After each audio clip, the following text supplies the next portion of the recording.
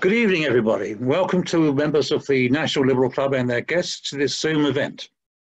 One of a series arranged by the Commonwealth Forum of the Club during this COVID-19 episode.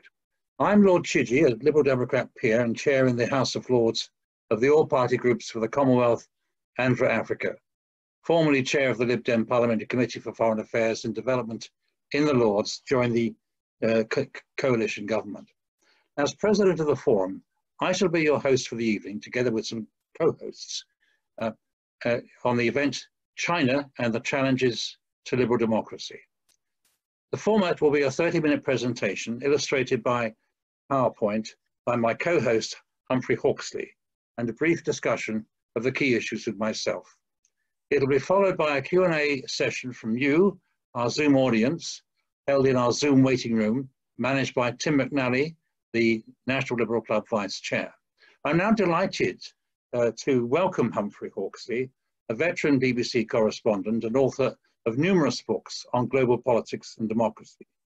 He's written for The Guardian, The Times, The New York Times, and other publications. His recent book, The Revised and Expanded Asian Waters, was described by Lord Patten of Barnes, formerly Conservative MP for Bath, last Governor of Hong Kong, and Chancellor of Oxford University as a very well-informed guide to an area of real tension in the early decades of the 21st century. Humphrey, over to you.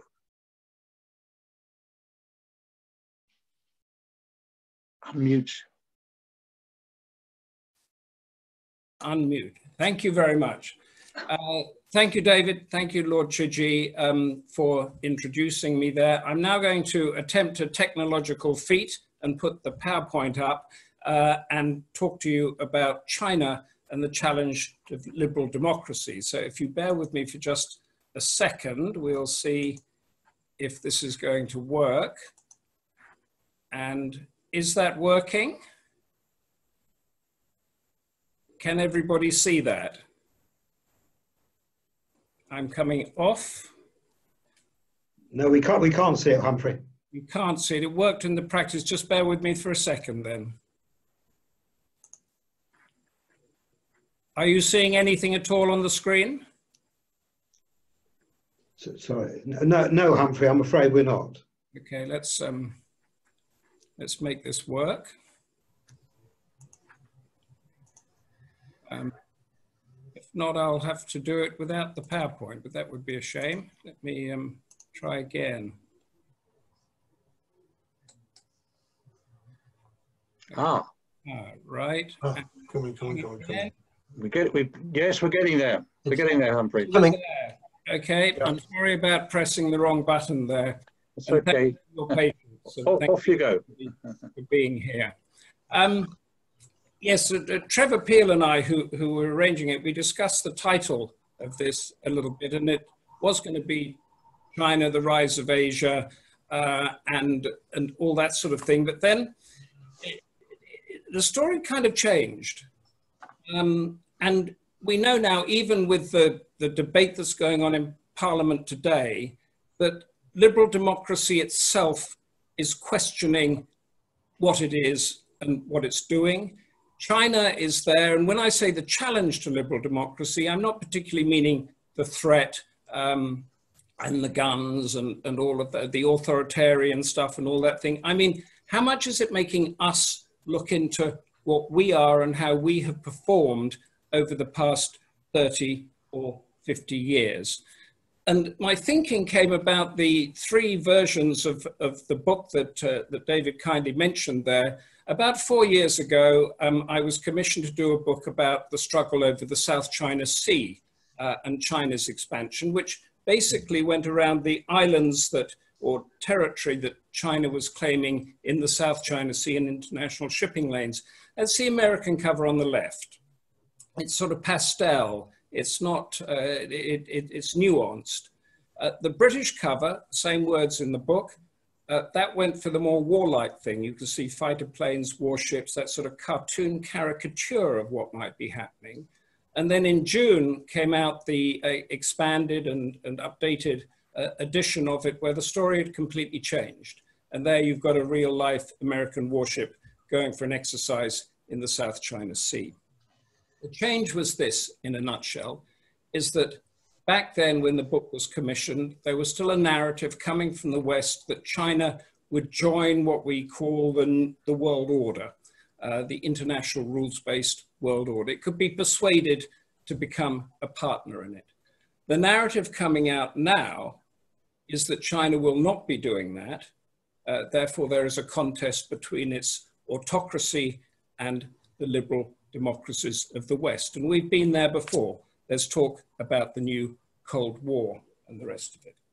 The story that this is becoming, I've been reporting on for more than 30 years in Asia. I've been uh, in Delhi and Beijing and Hong Kong and the Philippines. And the, the debate really is, is in a nutshell, it's in the West, we believe in individual freedom. In Southeast and East Asia, South Asia is a little different, the emphasis is on the right of the community over the individual. And that's it in a nutshell. And this was one story that we were going on um, with the BBC to Dongsha Island, one of the disputed islands. Uh, this one's between, dispute between Taiwan and uh, China. Uh, and when I was there, uh, we were doing a breakfast show, a two-way, they call it. This is the runway in Dongsha. Basically, it's just a runway and nothing else, a military runway. Uh, and something had happened that day in Iraq. There'd been a flare up, a car bomb or something. And they went straight from Iraq to us talking about the tension in Asia and the South China Sea. And I said, I began the piece, I said, we have to remember this is not the Middle East. This is a completely different issue, and it's, in a way, it's far more serious because it's not uh, non-state terror groups doing dreadful things. This is state power to state power, and it gets quite complicated. So what are we talking about when we talk about the US-led world order? We're talking about a system that much of, many of us take for granted, that was born out of the Second World War and the catastrophe of the Second World War. And they, these are the institutions that have become familiar with that. Uh, International Monetary Fund, NATO, uh, United Nations itself, which in a way is that crucible of the, uh, of the international world order, the European Union, which is a sort of regional construct within the value system of that world order. Now, China is creating its own. It's begun to create its own, and it's embryonic, it's tiny. There's no way it can replace, take on, or do anything that the current world order is doing. But it's still setting it up. And it's not building it out of the, the, the catastrophe of war, like, uh, like the current one is. It's building it with its sort of futuristic skyscrapers, roads, ports, uh, the sort of vision of wealth, and, and that sort of thing that the, the Chinese dream uh, under the leader uh, Xi Jinping at the moment. But this, this whole process has been going on, as I'll say in a second, for a very, very long time. And these are the symbols of that world order, uh, which we may or may not become familiar with. The Chinese Communist Party, uh, the Belt and Road Initiative, the, um, the, the um, uh, Shanghai uh, Cooperation Organization, all of the, these things don't hit our headlines as NATO and the European Union do, but they're beginning to, to get some sort of traction uh, in that part of the world.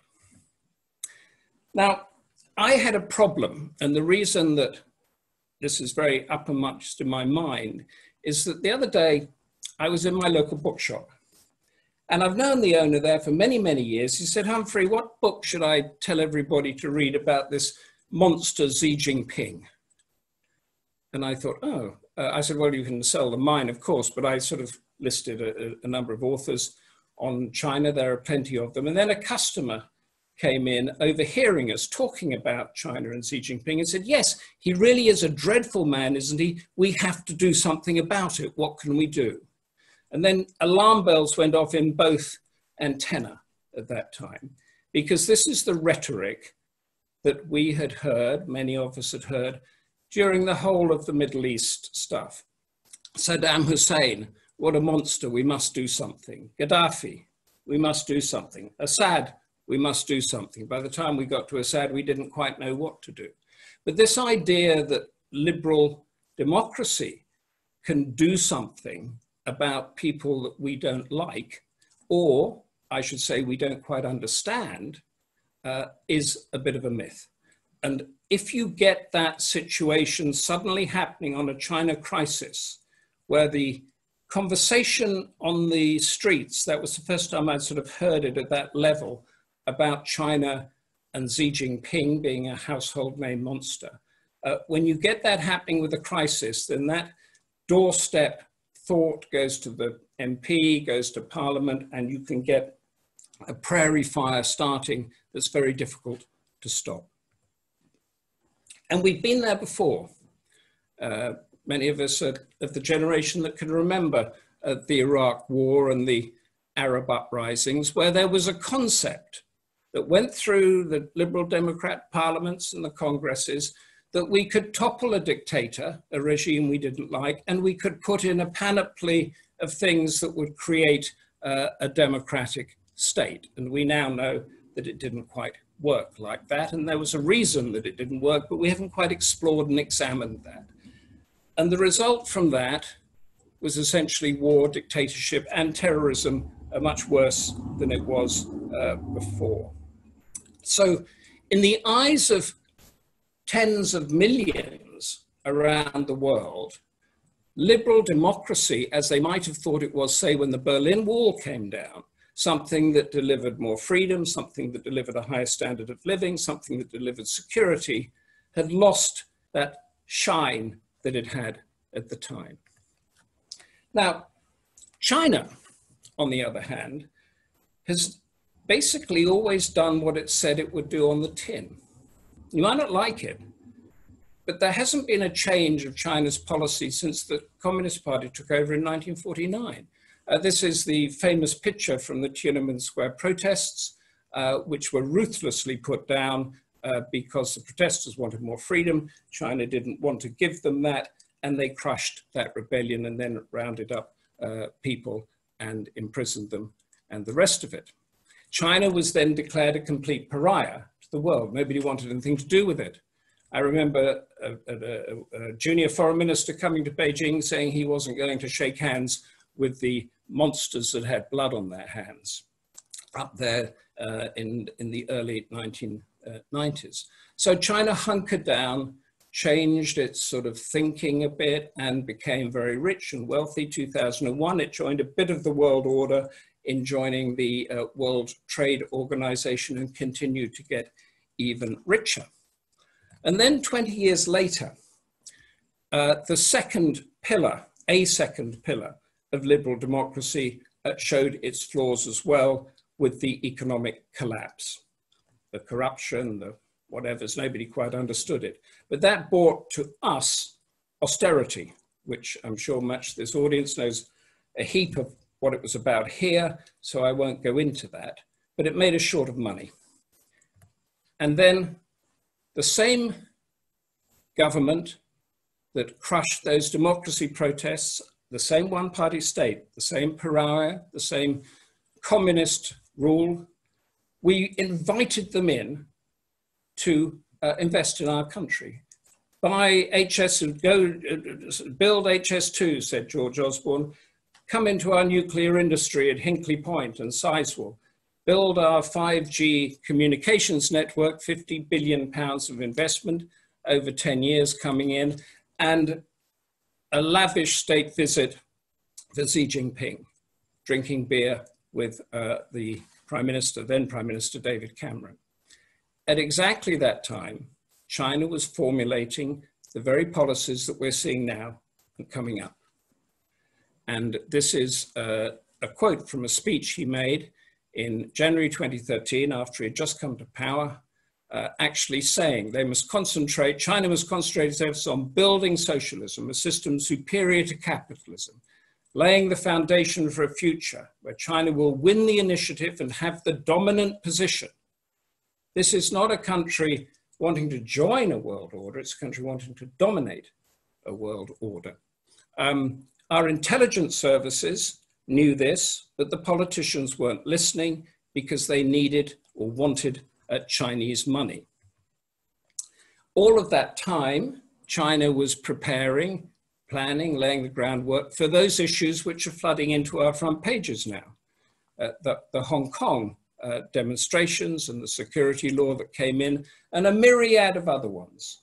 Uh, the India border conflict, which has been hitting the headlines lately, uh, sponsoring anti-Japanese protests in China. If you have a protest in China, the Communist Party has to um, has to sort of authorize it to happen.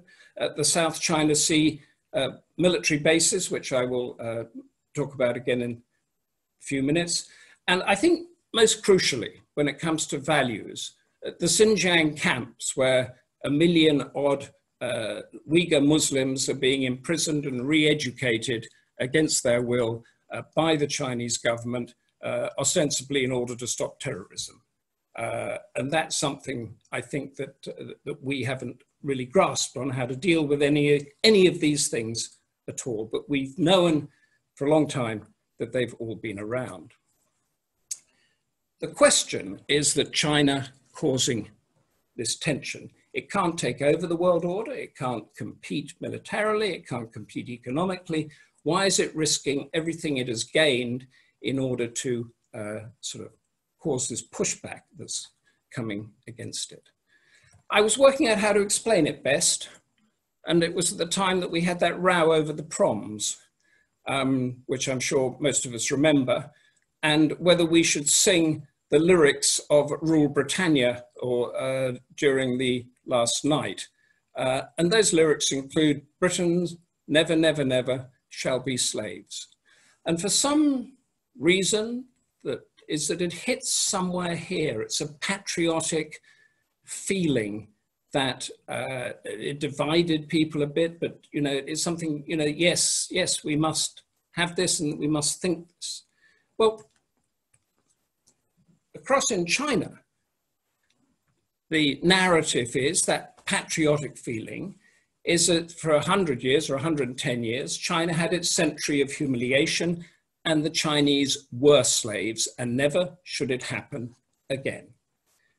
1839, when the uh, British uh, breached the southern coastline in order to sell opium from the East India Company, uh, to the Chinese uh, population to 1949 when the currently ruling Communist Party took over. 110 years, the century of humiliation. And this is how it's told to the Chinese students and people. A picture from one of the museums is that the disciplined uh, British troops with good technology, good science, good education uh, went in and smashed down the corrupt, feudalistic, indisciplined uh, Chinese government, breached those coastlines. And this is where the British actually came ashore, a place called Humen uh, on the southern Chinese coast. That cannon failed to stop the British guns. But more importantly, to the left there, you see these, this is a busload of students being there every day. The buses come in delivering people to hear this story. Now, when I've talked about the opium wars in other places, people object and say, well, this didn't happen, that didn't happen, you're balancing it wrong and all the rest of it, which might be true. But the fact is, is that the whole of the Chinese population, whether you're a school kid, a university student, a factory worker, a party official, or whatever, has had this drilled into them ever since they uh, could speak and read and write. Uh, it is the same mythology that we had, many of us, when we were young, of that pink uh, map on the wall of our schoolrooms, uh, saying how benevolent and civilizing uh, the British Empire was. So to not have it happen again, Xi Jinping and his predecessors uh, built the Great Wall of the Sea so that the southern coastline wasn't breached and they've claimed, this is the South China Sea, they've claimed uh, this international shipping lane as Chinese sovereign territory. Um, now you can see in this, there's Paracel Islands uh, up on the uh, top left-hand corner. It's got a huge uh, military base, old Japanese base, which has been modernized. Down in the Spratly Islands here, there's five or six islands which have been reclaimed, uh, built up, and now constitute uh, military bases with planes and missiles and radar and all the rest of it on it. And the, the ships, as you see, they come through here uh, between the Paracels and spread. It's like going through a strait. And they go on up to China and Japan itself and Korea. Um, and because of the weaponry now that the Chinese have got, they essentially have military control of those international shipping lanes. There is no motive for them to do anything about it because they need to, to trade and, and take in the, the, the, the, the, oil and, and, and goods as much as anybody else. But still, that, that, is, that is the fact there. Now, again, this isn't new. This is a picture from 1995 that I put onto a BBC News report when I was in Beijing. Uh, this is a place called Mischief Reef. These are fishing shelters. Uh, and China just built them up claimed the land. You can see that Chinese flag on the top of it. Um, and nobody did much. Other stuff was going on, and, uh, and, and that claim stayed. Not, they didn't do much else. This is Mischief Reef in uh, 2012 uh, when Xi Jinping came to power. This is Mischief Reef in 2017, uh, which is basically a fully fledged military base, runway, radars, mobile missile shelters and the rest of it uh, there. You've got five, I think five or six of those uh, in, in the area has, has happened there.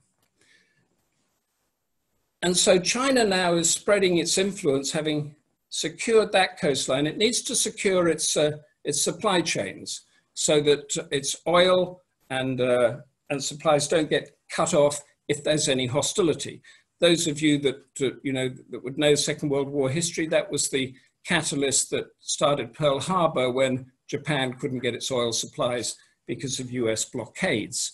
Uh, so what it what it's doing now is it's spreading through through there. It's got a base in Djibouti, which isn't marked on this map, on the Horn of Africa. Uh, it's their first uh, overseas military base, and then we take that, and you get into the Belt and Road Initiative, uh, which is where it's spreading across on the sea and the thing in order to uh, build the airports and the ports and all that stuff that I talked about earlier. But it, it's about now spreading Chinese influence, securing the Chinese uh, sort of compliant nations so that it feels more secure. Keep thinking back to the, to the century of humiliation, and it hits Europe. Now, this is where you're beginning to get the pushback. In 2012, again, the year that Xi Jinping came to power, I don't know what we were all doing then, but a lot of stuff was happening. It signed a, an economic uh, arrangement with 16 uh, Eastern and Central European countries, most in the European Union, a few not, uh, with headquartered in Beijing. It was about business, loans, infrastructure building, and all the rest of it. It's now incidentally called the 17 plus one because Greece joined, I think, last year. What we've seen since that happened is a shift of some of the voting on issues about China on European Union statements. So there's been a couple on human rights and one on the South China Sea where Poland and Hungary and I think Greece uh, voted against what the European Union wanted to do, in other words, siding with China.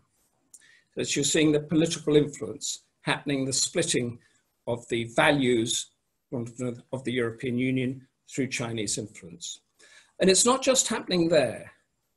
If you look at the wider world, we can see that the United Nations votes, these are recent votes here, on the Xinjiang camps that I just mentioned, which uh, in human rights terms is sort of horrifying uh, that, uh, that, sort of, uh, that, that uh, mindset there.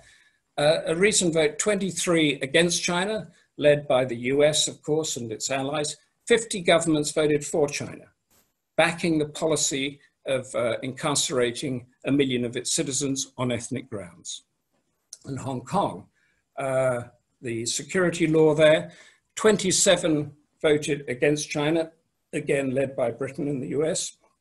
53 voted for China, backing the security law and what it was doing there. In other words, violating that international law treaty that it signed with Britain on the one country, two systems thing. and this is where it, it gets quite sort of difficult because then we go back to the concept of international law. And it's being debated in the House of Commons today as to whether a democratically elected parliament should vote for a sovereign nation to break international law.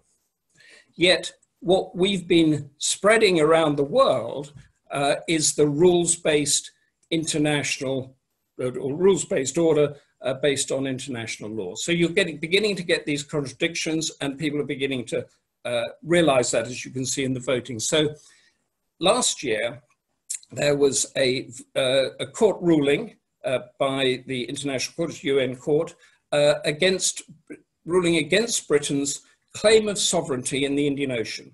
Uh, the reason that Britain sticks to that is because there's the base of Diego Garcia there, uh, an American base, and you can see how strategic that would be. Uh, in 2014, there was a, a, a, ruling against China by a sister court saying that its uh, claim in the South China Sea was uh, illegal. different courts, different technicalities, but two courts uh, that uphold or, or, or, rule on international law ruled against two, two different nations. Britain didn't engage with that. It said they weren't going to do anything about it. Um, but then that went to a UN uh, General Assembly vote 116 against Britain and six, only six for. So this global power, permanent member, could only muster six votes, whereas the people that opposed it could muster 116. So from this, you can see, see that there is a shift of stuff going on.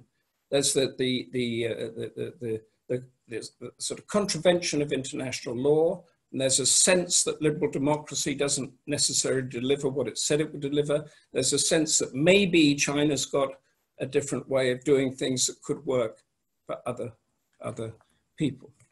And when you get rid of international law, and it gets weakened uh, to a degree. What you have left are the guns, the guns and the money, essentially. And that's the sort of area that I feel that we're going into now.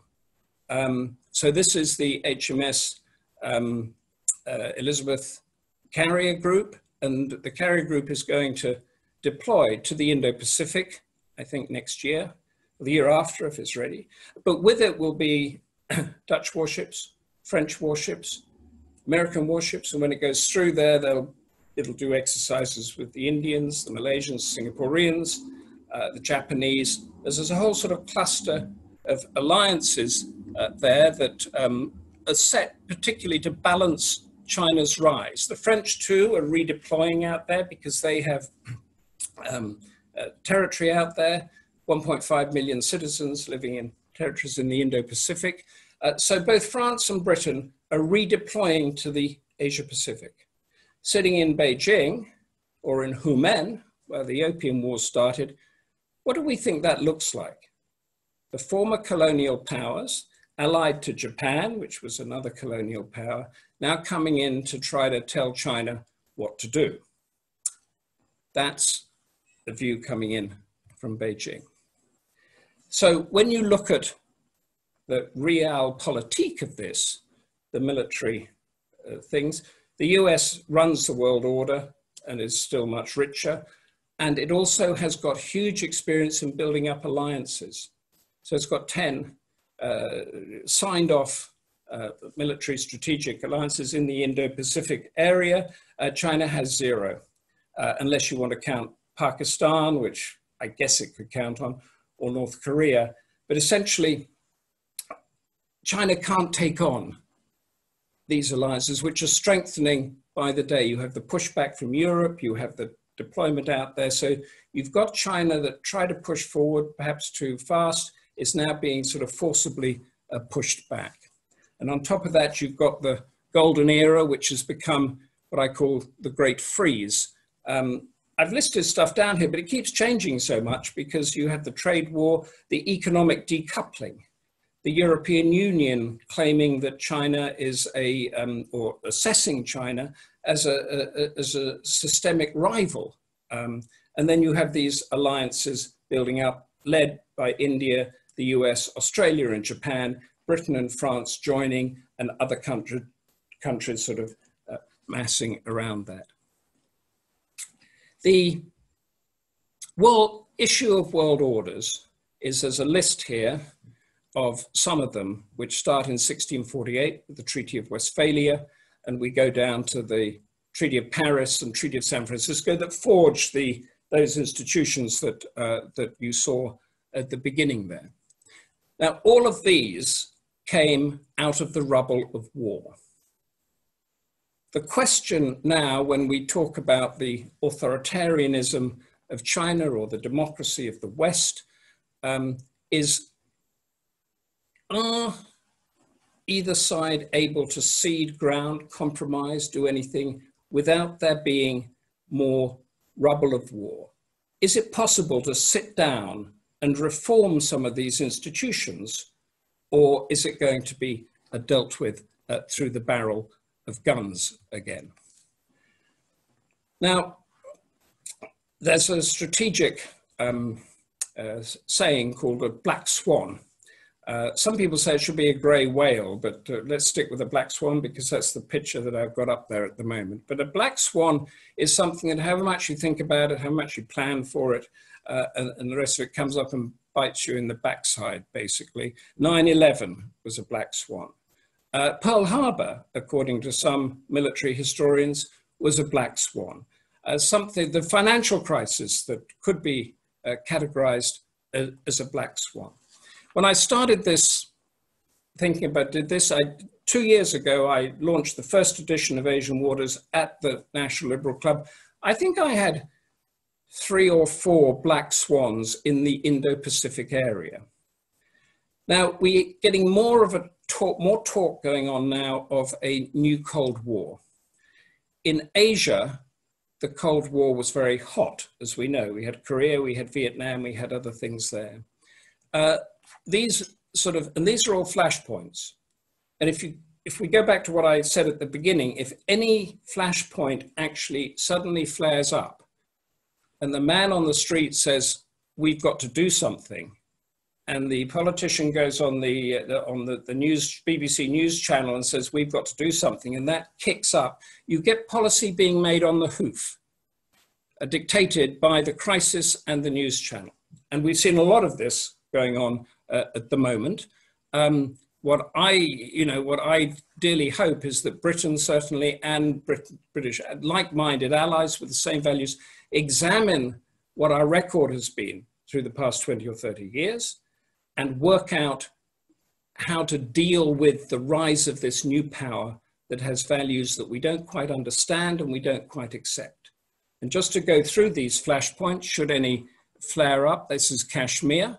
This is the India-China uh, border that we've seen in the news in the past um, uh, month or so, the South China Sea, uh, Hong Kong, uh, Taiwan, which I barely had time to talk about, but is a real flashpoint, North Korea, another one, and then India, um, uh, sorry, China and Japan.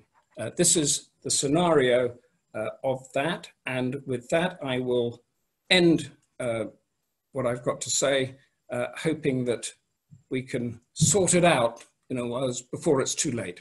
Thank you.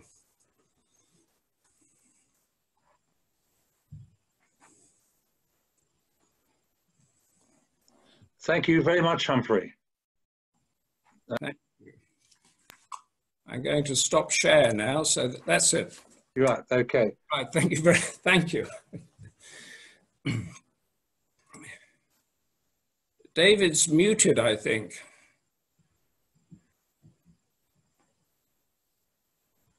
His Lord Chidgey is muted. In fact, every... Go mute. How's that? That's better. You know? How's that? I can hear you, David. Can anybody else? Excellent. Yes. Thank you, David. Thank you. We'll remember this period in our history by that magic expression. Can you hear me? Am I muted? That's a reminder. So, Humphrey, thank you very much for that presentation. It's quite fascinating. I'm just going to put a couple of points to you, as on the program, so to speak, which you may want to respond to, and then go on to question and answers.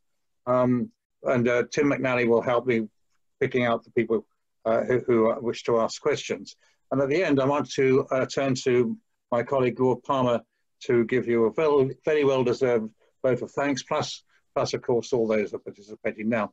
So, Humphrey, that was a very interesting uh, presentation.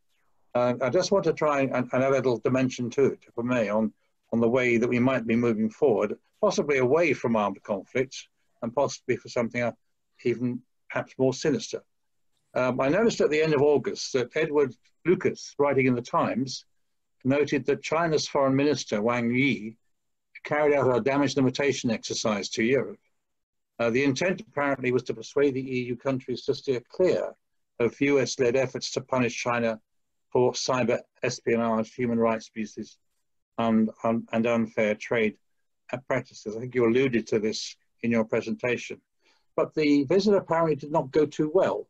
Mr. Wang issued a warning to the Nobel Prize Committee in Oslo, in Norway, which had been rather friendly to China for the last nine years, about the consequences if they chose Hong Kong's pro-democracy movement for a reward, for an award. Uh, Joseph Borrell, the EU foreign policy chief, denounced Beijing as assertive, expansionist, authoritarian, and a new empire. Slight, somewhat positive shift, if you like, of the EU's position towards China. And even today, in the United Kingdom's broadsheet, there was a report that a Chinese tech firm is compiling a database on tens of thousands of British figures and their children and their families for use uh, by the country's intelligence agencies. And uh, my final point really is that only yesterday, the United Kingdom Chief of Defence Intelligence gave the first ever media briefing at his Cambridgeshire base of the changed character of warfare in ways that will challenge the West if they do not keep pace with adversaries who do not play by the rules, such as artificial intelligence, machine learning, Novichok poisoning, just some examples of the way that the global players, such as Russia and China, continue to challenge the existing order without prompting direct conflict. So, Humphrey, my point to you really is, do, do you accept, uh, do you agree that uh, the confrontation is moving away from the traditional battlefield into more subtle but probably more lethal ways of undermining um, our way. Yes, uh, definitely. Um, it is doing. Uh, and, and, and that's the sort of race that's going on about cyberspace now and, and the technological uh, race. But I think the issue, David, is, is, is more is that it's still confrontational. It's still mm. antagonistic. So you're as, as long as this goes on, you've got the, the so-called liberal democracy side and the authoritarian side moving into more polarized positions when actually we need to bring them closer together. Um, Asia is an interesting concept because in Europe and North America, we basically have one political system and, and predominant religions and all that doing it. Mm, Asia mm. is a complete mix. So if you're in a small Asian country, you might be a dictatorship having to work next to a democracy. Uh, you might be a Buddhist nation working next to a Muslim nation. Uh, we have 200 languages in Europe. They have 2,000 plus in Asia. So I, I think they have a different way of doing things because they know they can't push or, or, or, or, or predom- one religion, one political system will not be able to predominate, or to, to, to, dominate, and therefore they have to muddle through on that. And I think we're going to have to muddle through uh, with China in some way and find out how to work with this autocratic system, um, which, in my view, incidentally, uh, 50, 100 years from now, will become a democracy because when you get an educated middle class, they have a pact with the government, and that pact is essentially accountability and elections and all that sort of thing. But it's not going to happen in five or 10 years. Thank you very much, Humphrey. Now, I think we should move on to the Q&A. And here I need guidance from uh, Tim McNally, uh, who is going to tell me who wishes to speak first? I think it's the gentleman from the Chinese um, embassy. Lord Chidgey, uh, I've sent you in the chat window a list of people, but the first person is Mr. Xiao Zheng, the councillor from the Chinese embassy, followed by the Right Honourable Sir Simon Hughes. Fine. Okay, let's hear from the gentleman from the Chinese embassy.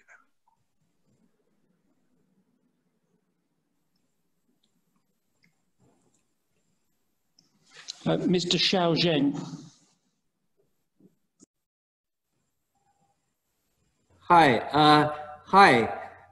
Good evening. Hi. Good, good evening. Uh, this is Shao from Chinese Embassy. Uh, I just want to make a, a, brief response to the presentation. We believe that China is a peace-loving country, and we have maintained good relations with our neighbors, especially around the South China Sea. We want to make it as a peace, uh, sea of peace, sea of cooperation, and sea of partnership and we have no intention to go into war with the United States or other countries. So my message to the members of the parliament and others is that we should not be treated as a threat, but rather we should be treated as a partner. Thank you so much. Thank you very much indeed for a very concise response. Um, now, on to the next uh, questioner, Sir, Sir Simon Hughes. Um, is sitting there on the screen looking at me and hopefully he's about to give us his thoughts and wisdom. David and uh, Humphrey and friends, uh, thank you very much. Um, can I put one sentence proposition, uh, Humphrey, and then ask for your uh, response? I first went to Africa in the early 80s, and I learned then, actually, in Tanzania, of how successful the Chinese were being in terms of economic engagement with developing countries, which had been in empires like ours. What's your assessment over the last, the sweep of the last 40 years? Can I, before I pass this on to, to Humphrey, share share your experience, Simon, because I too spent a lot of time in in uh, many parts of Africa and also came across the uh, Chinese influence. I was working in Francophone Africa, and so I became familiar with the concept of the Palais de Peuple. This was the government buildings built by the Chinese for the people.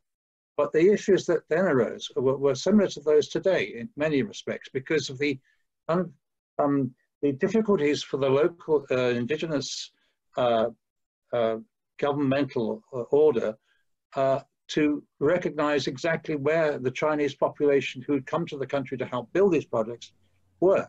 And, uh, uh and it was very difficult for them to actually regain uh, total control uh, of their societies and, and their local economies. Anyway, over to Humphrey. I, you dropped out, Simon, right at the end of that. You were saying the... the my, my, I'm really seeking your assessment of, of, of, over the last 40 years, whether China has been more successful than, than uh, the States, than Europe, France, or the UK, or Russia in expanding its economic interests around the world, and that, and that the rest of us have been playing catch up? Or is it that China, as it were, has come from nowhere relatively in terms of that sort of economic influence. And that's why we've noticed it and perhaps have been more troubled about it in the last 40 years, whereas the States, the UK, France have been players for such a long time. Yes, I, I, think I'll answer that with a couple of anecdotes, if, if, if, that's okay. The first story I did for the BBC on the Chinese in Africa was in Tanzania. Uh, and it was quite incredible for myself in that we went in there. And usually, when you go into a, a, a, country like that, you interview the American or the British ambassador. This time, we set up a very similar interview with the Chinese ambassador because that was where the power was. And I was going to interview a European um, uh, engineer there that was, was building something, and he pulled out at the last minute and said, Look, I can't risk my business because, uh, because the Chinese have somebody in every ministry, and I've got to be careful of what I'm doing.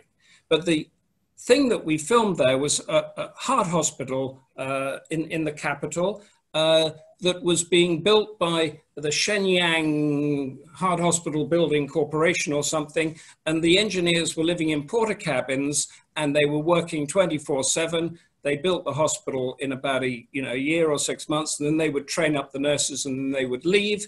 When I interviewed the finance minister there, he said if we had the Europeans to do that, each of those engineers would have wanted a four-bedroom house, school fees, swimming pool, flights home, and the rest of it. So it might not be quite as good as we would get in European standards, but this is Africa. So we would prefer to take that.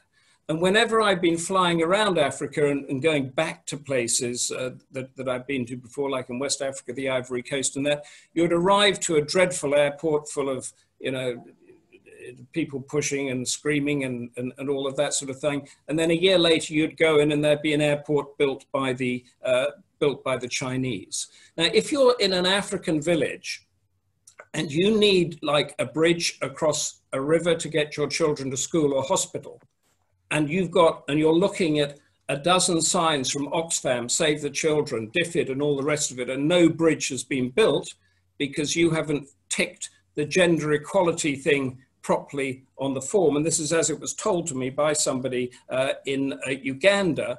And then the Chinese come in and build that bridge. You're going to go with the person that builds the bridge as opposed to the person that tells you that you need gender equality and democracy. And I think that is what has been sweeping through Africa uh, for the past 20 years.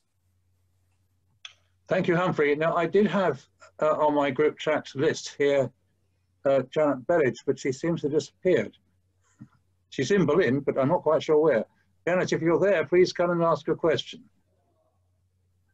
By all means. Yes, there she is. There she is. Bless her. Hello, good evening, everybody. Humphrey, that was very enlightening and very interesting. Um, what I uh, was interested in, uh, particularly today, uh, some members of the uh, European Union had a conference call with, I understand, um, uh, Mr. Xi in um, Beijing, and they were making it clear that they were not happy with um, uh, the policies of China, um, the um, and especially the things that you mentioned earlier, and they were there was talk this morning on the radio about the possibility of imposing sanctions or something like that to show that the European community was um, serious about this and that they they uh, didn't want to um, accept um, the sort of behavior. Um, it's always about human rights, about Hong Kong and the uh, the Muslims in the camps and everything, and um, but it was pointed out that they wouldn't really achieve anything or, or very little. And uh, then there was the discussion about whether uh, sanctions should be on individuals or on Chinese government projects or, or whatever. Do you think that sanctions would even have any um, effect on Chinese policy uh, as it stands now? I, I, I, think it, it would, but I, I don't think it's the right path to go down. Uh, I think that the Chinese, given given what they've achieved uh, since, say, Tiananmen Square, you have some of the most intelligent people in the world sitting in Beijing, and they know exactly what is happening. They don't want to lose Europe. Uh, China can't rule the world if it loses Europe, and certainly it can't rule the world if it loses India, if it loses Japan, if it, if it doesn't have a good relationship. And what's happened in the past year or so is that Europe's woken up finally to the fact that you have to draw some lines. And I think all Europe has to do is draw some guidelines. It says, okay, you can buy our pizza parlors, but you can't steal our technology and you're not, not going to go into our critical infrastructure. Uh, and so everybody knows that.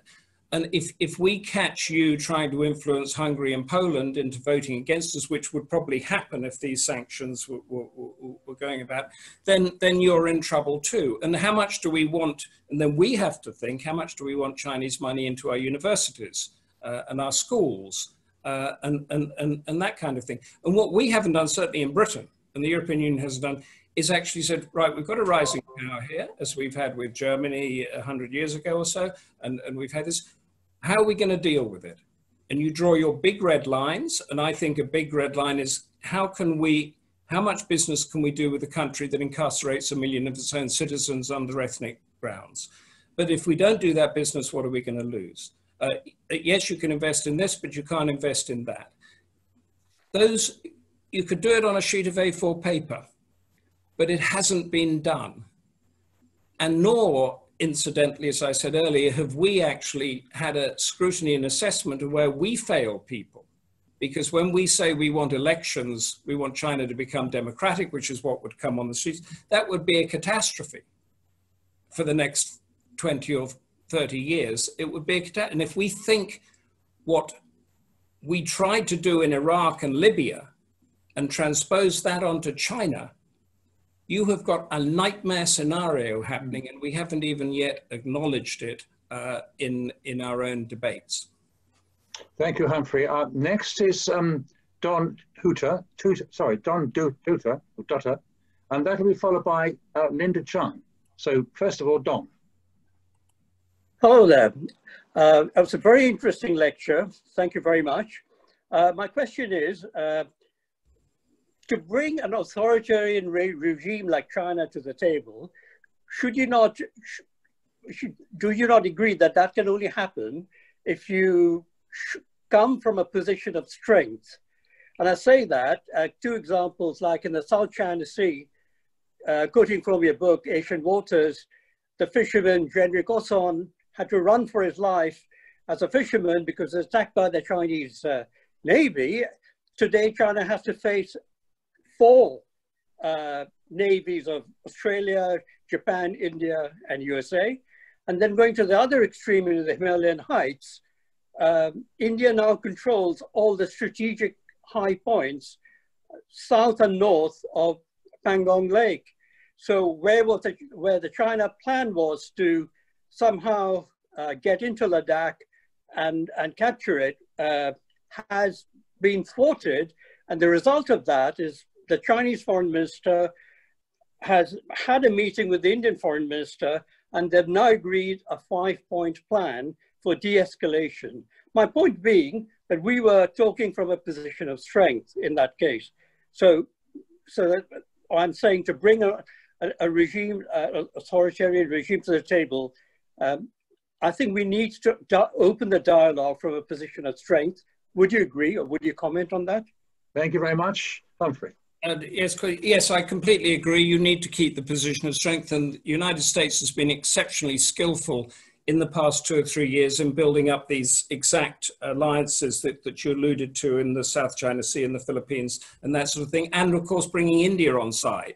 Uh, so, it, you know, there was a similar sort of alliance that in the 62 war uh, with, with, um, uh, with between China and India caused China to backpedal very quickly because they thought that the US might use a nuclear weapon against them. So yes, these alliances are very, very important. But I think what's in, what is equally important here is that China doesn't feel that its decisions are being made uh, under stress uh, through humiliation. And that's a very nuanced cultural thing that has to be understood. If you can, we can bring it round without that, and, and we tasted that with Russia. And Russia felt humiliated and trashed and exploited after the fall of the Berlin Wall and the Soviet Union. We don't want a similar situation to happen with China. And I do think that there could be some sort of conference or negotiations to reform the world order to take into account the rise of Asia. Thank, thank, thank you, Humphrey. Thank you, Humphrey. That's fine. Uh, now, Linda Chan, who was a co-founder of the Chinese Liberal Democrats and a past Lib Dem councillor. Linda.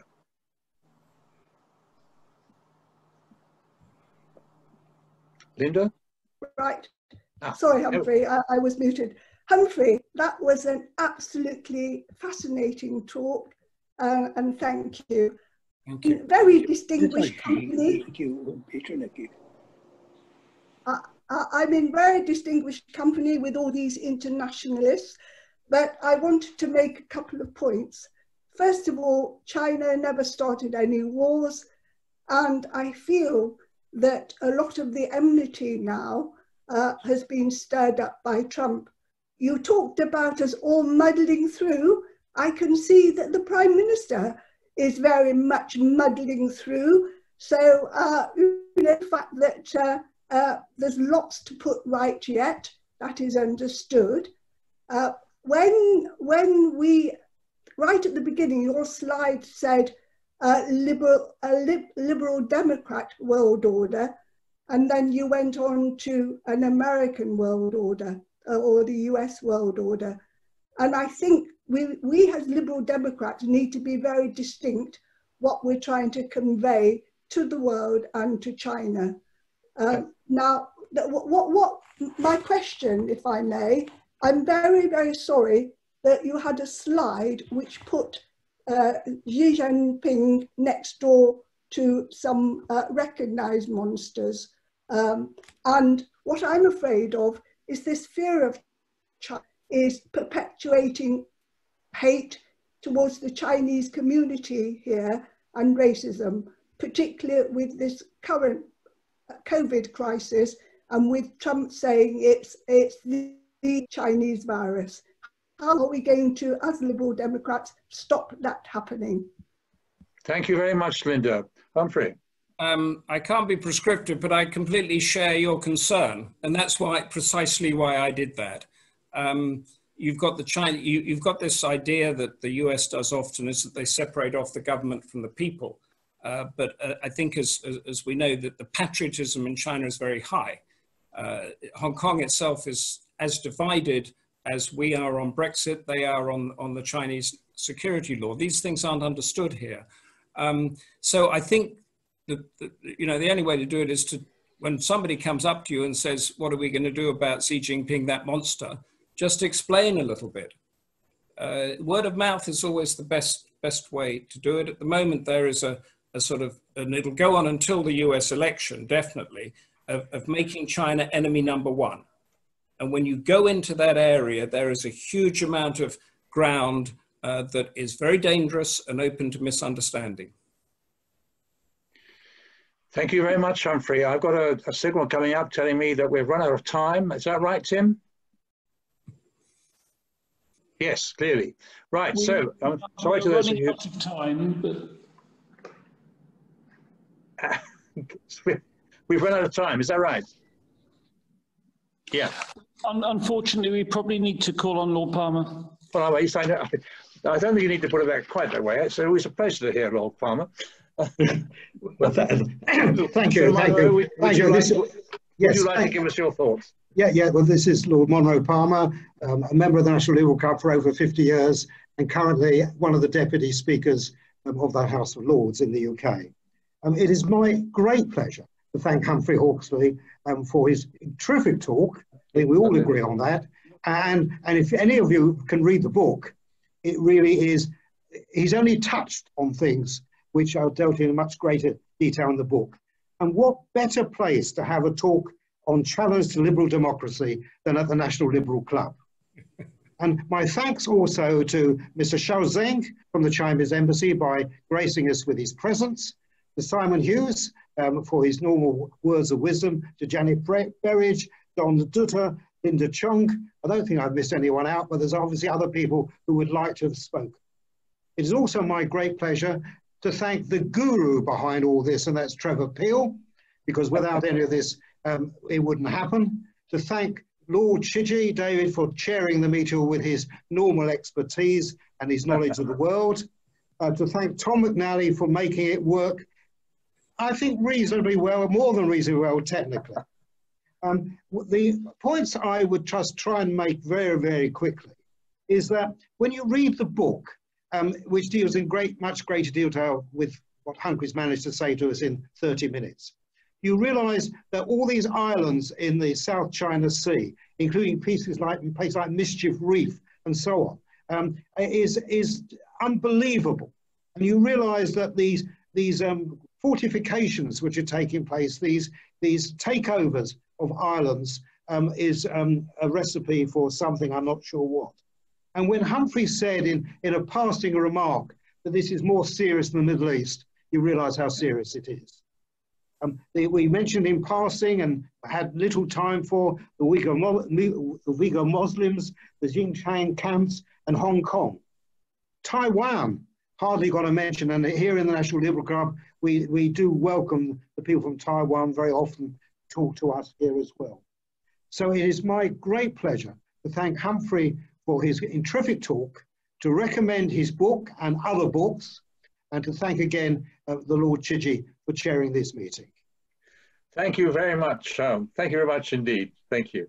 Um, my final comment, if I may, Chairman's uh, prerogative. I remember my first experience of the South China Sea was sending postcard from uh, Brunei to my wife, which said on it, my message was, I'm sipping chilled Chablis in front of the South China Sea. And that was my final thought on it. Thank you very much, everybody. It's a wonderful evening. Thank you, Humphrey, for your, you, your